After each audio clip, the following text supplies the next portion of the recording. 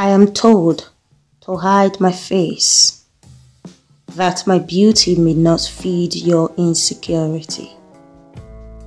I am told to cast my eyes down, that my shining eyes may not accuse your humanity.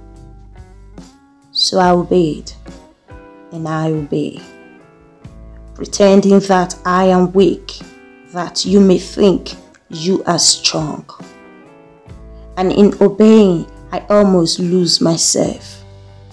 I almost forgot that I am not weak, that I am a burning flame, a full blooming spring enticing the eyes of all, a dazzling rainbow traveling across the sky.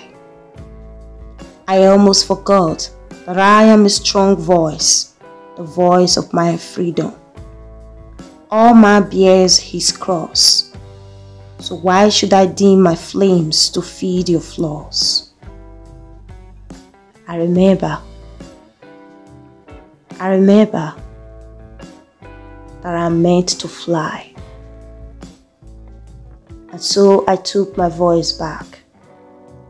I shook my wings. And now I can fly.